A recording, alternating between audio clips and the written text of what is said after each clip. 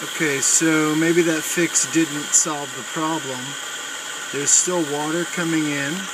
Uh, I see it draining in from right up here. As well, it's pouring down from over here.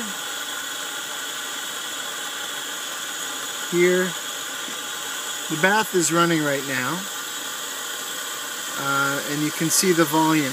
It's also coming in from the work that was done here, here. So there's actually quite a bit of water as you can see.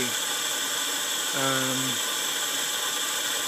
so maybe this fix is not finished. Okay.